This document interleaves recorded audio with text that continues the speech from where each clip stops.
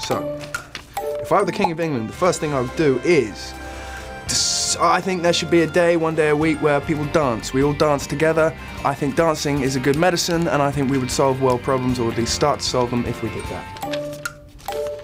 The most fun thing to say in the American accent is fierce. Oh my god, it's so fierce. Really fierce. More fierce, fierce. Coolest thing about filming in Belgium was the beer. And the locations that we shot at, 'cause they were stunning and realistic. Okay. Uh, when preparing for an on-screen nude or love scene, I make sure to eat lots of mints. Yeah, and sit-ups, sit-ups. Crunches, as you call them here. The most interesting thing I learned about King Edward's court was all the women were obligated sexually to the king. Yeah, The White Queen stars August 10th. Watch it.